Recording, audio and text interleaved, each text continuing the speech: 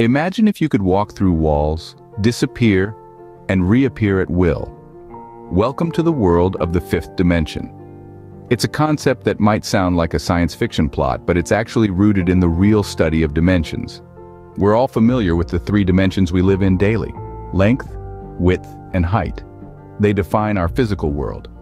But there's a fourth dimension, time, that lets us move forward and backward, not just left and right, up and down.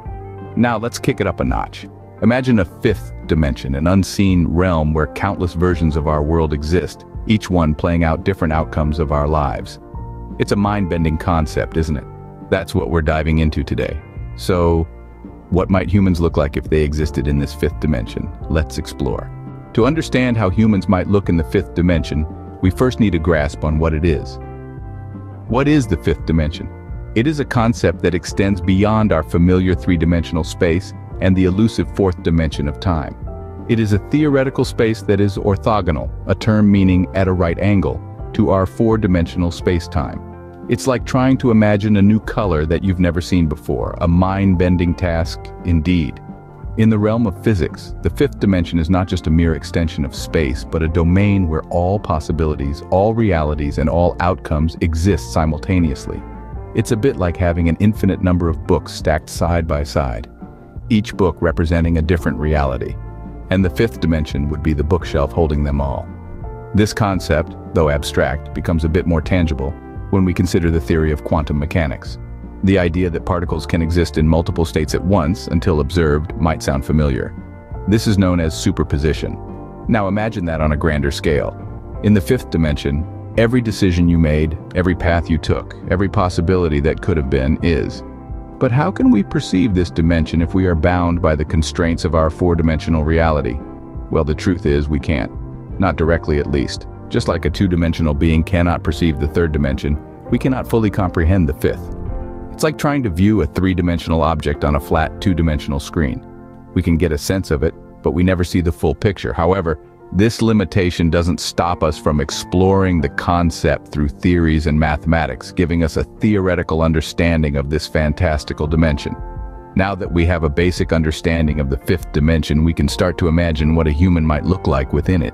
Visualizing a five-dimensional human is no easy task, but let's give it a try. Imagine, if you will, a creature that can see not just what is, but what could be, what might be, this is the realm that a five-dimensional human would inhabit. They would not be bound by the constraints of the three-dimensional world we know, nor limited by the single timeline of our four-dimensional universe. Instead, they would exist across multiple possibilities, seeing and experiencing all potential outcomes of their actions concurrently. So, what would such a being look like? Picture a tree, if you will. This tree doesn't have a single trunk, single set of branches, or single set of leaves. Instead, it's a myriad of trunks, branches, and leaves, each representing a different potential reality. This is a crude analogy, but it begins to capture the essence of what a five-dimensional human form might resemble. Each branch of this human form represents a different potential outcome of their actions. When they decide to take a sip of coffee, a new branch forms, representing the reality where they do so. But simultaneously, another branch exists, representing the reality where they choose not to. Each decision, each action, each potential outcome forms a new branch in the five-dimensional human form. This human form then is not static like ours. It is dynamic, constantly changing, constantly growing. Each moment brings a new set of possibilities, a new set of branches. It's as if the five-dimensional human is in a constant state of becoming, a state of perpetual evolution and growth. And yet, despite this complexity, this form is not chaotic. Each branch, each potential reality is connected to the others. They are all part of the same whole, the same entity. This is the beauty, the elegance of the five-dimensional form. It represents the infinite complexity of potential realities, yet it remains a single unified entity. But how would these five-dimensional humans interact with their world? A being that exists in five dimensions would experience the world in a way we can barely comprehend. This isn't just a sci-fi trope, it's a thought experiment that pushes the boundaries of our understanding. Imagine, if you will, that you're a five-dimensional being. You're not just walking forward, backward, or sideways. You're not just rising or descending. You're not just traveling through time, you're moving along another axis.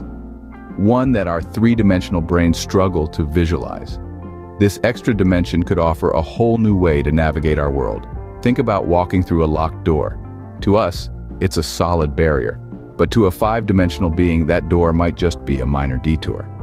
They could step into the fifth dimension, bypass the door entirely, and then step back into our familiar three dimensions on the other side.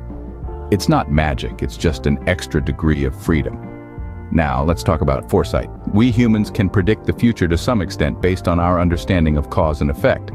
But a five-dimensional being could potentially see all possible outcomes of a given situation all at once. Like viewing a branching tree of decisions and their consequences, they could choose the most favorable path with perfect knowledge. Even more astonishing is the possibility of interacting with one's past and future selves. In the fifth dimension, all points in time could exist simultaneously. This means that a five-dimensional being could potentially have a conversation with their past self, or even their future self. It's a concept that boggles the mind, but in the realm of the fifth dimension, it could be an everyday occurrence. Such possibilities are mind-boggling, but they reveal just how limited our perception of the universe truly is. We may be confined by our three-dimensional perspective, but contemplating the fifth dimension allows us to step outside our usual frame of reference and ponder the incredible possibilities that lie beyond. A life in five dimensions would be drastically different from our current existence. Imagine a world where the concept of now is as quaint as a horse-drawn carriage. In a five-dimensional existence, we might see time as an open landscape rather than a single unyielding path. We could experience every moment of our lives simultaneously, from the day of our birth to the moment of our death.